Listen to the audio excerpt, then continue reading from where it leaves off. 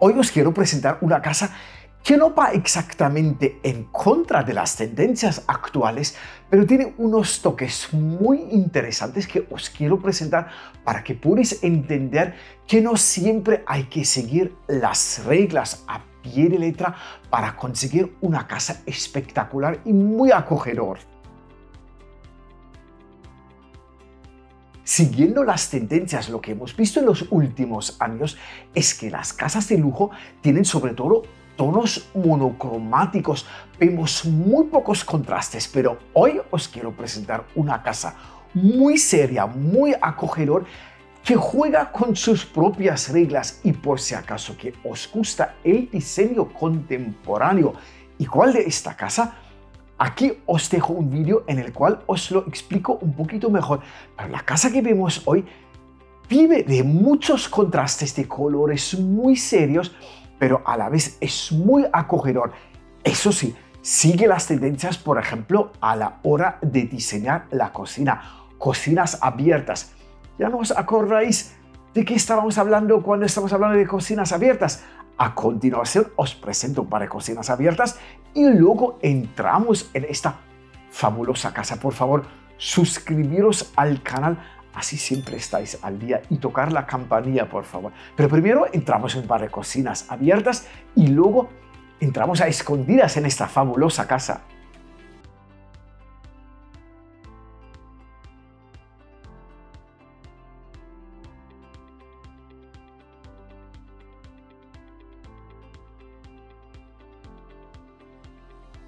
Y haber podido ver estas cocinas abiertas que normalmente tienen pocos contrastes, vemos mucha madera natural, mucho blanco, una decoración muy discreta con líneas rectas.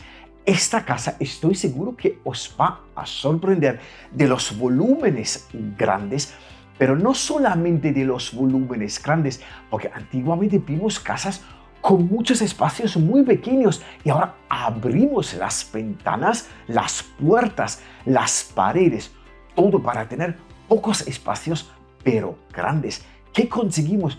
Pues poder hacer una vida más familiar, tener la sensación de estar en una casa grande. Y a nivel de materiales de esta casa lo vemos a la vuelta. Vamos a entrar ya.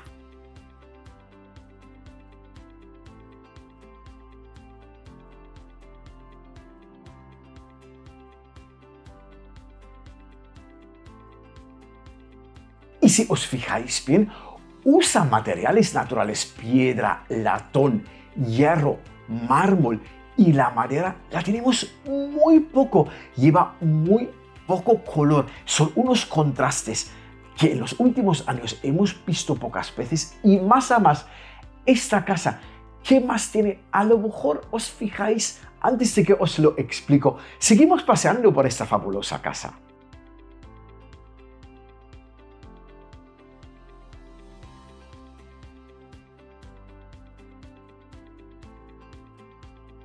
Exactamente, usa los elementos funcionales como los muebles, los sofás, las butacas como elementos decorativos.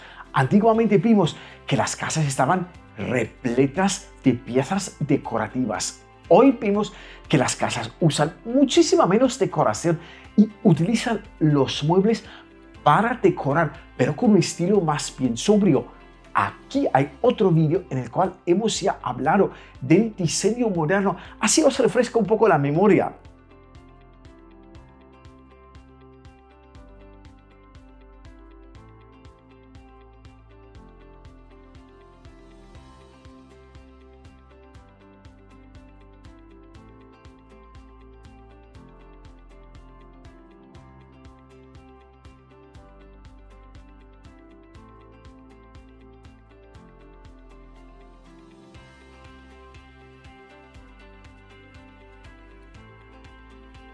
¿Qué os parecía esta casa tan elegante?